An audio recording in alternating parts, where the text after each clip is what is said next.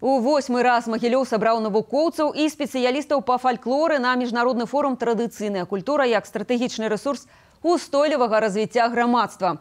У ім прымаюць удзел 60 знаўцаў культурнай спадчыны з Беларусі, Расіі, Арменіі, Азербайджана, Казахстана, Кыргызстана, Узбекістана і Китая. Традыцыйная культура як стратэгічны рэсурс устойлівага развіцця грамадства унікальны міжнародны форум абмена вопытам па захаванні культурнай спадчыны.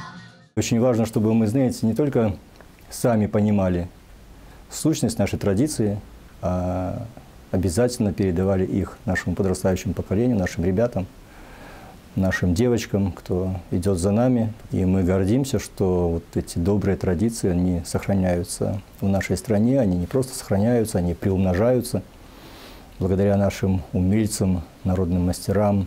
Магілёўскі абласны метадычны цэнтр народнай творчасці сустрэў гасцей народным святам гукання вясны і кожнаму прэзентавалі саламяных жавароначкаў і акарыны.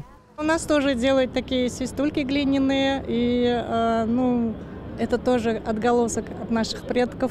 Это что-то такое традиционное, что-то детское. Сразу вспоминаешь свое детство, сразу становишься ребенком.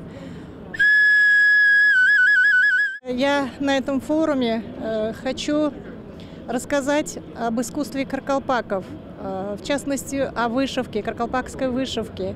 Она очень э, сложная, очень своеобразная. На форуме я впервые Впечатления потрясающие, колоссальные, поскольку собралось столько государств, столько хранителей традиций, своих уникальных традиций, в которых заложена мудрость каждого народа, который сегодня приехал а, вот сюда, на Могилевщину, на эту прекрасную белорусскую землю. Падчас форуму падрыхтавана для дэманстрацыі вялікая палітра святаў, абрадаў, традыцыі дэкаратыўна-прыкладнога мастацтва Магілёўшчыны.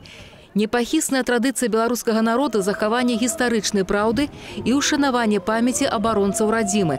На плошчы славы Магілёва удзельнікі форуму усклалі кветкі да вечнага агню. В этой акции согласились все страны-участницы, и нам это приятно, потому что сегодня именно эта тема актуальна не только для Беларуси, там, России или других стран, но и для всех стран постсоветского пространства, в том числе и Республика Китай присоединилась.